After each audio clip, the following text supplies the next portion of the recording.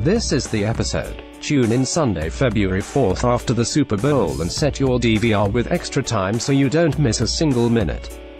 This is us at NBC. This is is the wasn't an easy one to swallow. The long-awaited question about Jack's was almost entirely answered, showing his final moments inside the house before it went up in flames. However, if you found yourself crying during the drama, know that you weren't alone. The show's creator, Dan Fogelman, revealed on Twitter that he watched the episode with Sterling K. Brown, and just showed them tonight's episode. A strange thing, watching beautiful, famous people weep.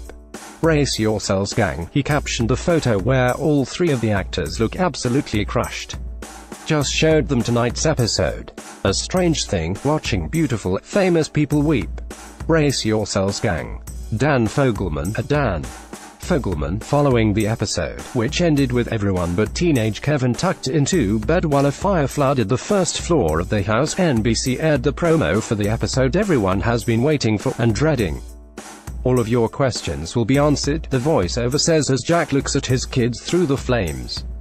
Kate yells, Dad, Randall looks horrified. Rebecca scurries around panicking.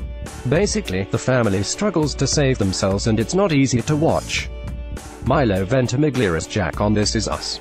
Ron Batzdorff, NBC on Saturday, January 13, Ventimiglia told Us Weekly exclusively that the cause of Jack's would be revealed.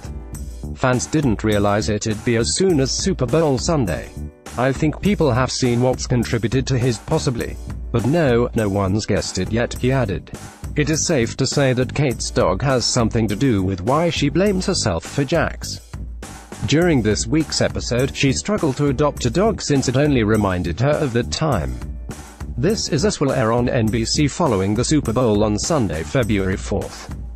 To get breaking celebrity news, hot pics and more delivered straight to your inbox.